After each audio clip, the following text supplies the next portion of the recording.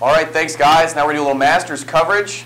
This year at the 2008 Masters, Trevor Immelman gets the green jacket. Uh, he played a heck of a weekend.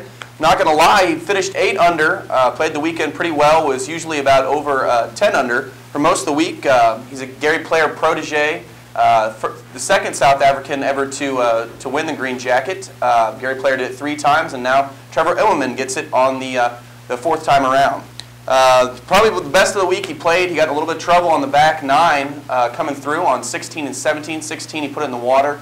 17 put it in the bunker, but that was about it for Trevor Immelman. He hit birdies, followed in through Tiger.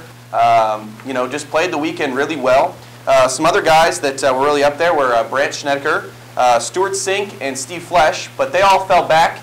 And where Tiger Woods came in in second place, um, Tiger, the entire weekend he didn't really play Tiger-esque as we usually uh, see him do. Uh, he had a heck of a birdie on 11 with an 80-foot putt.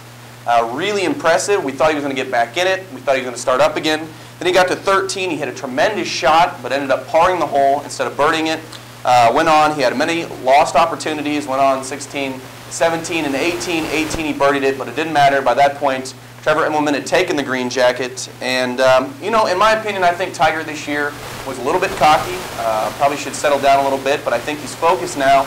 And going to the U.S. Open, we'll see what, uh, what Tiger can do. I'm excited for the, uh, the other majors of this year. So, Thanks for that, Campbell. Tiger Woods couldn't quite pull it off there. He ended up getting second, though, after it looked like he was going to be uh, really out of the running. But can't ever give up on Tiger Woods. That does it for the sports segment. I'm Ding. This is Smitty. We'll see you next week.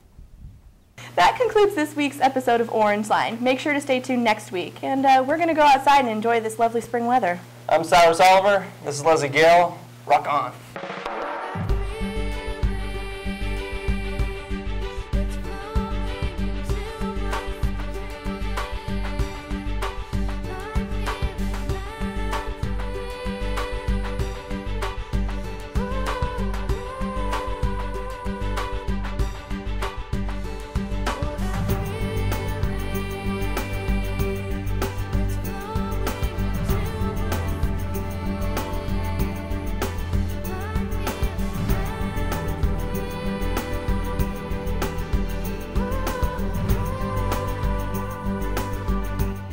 Chris Smith.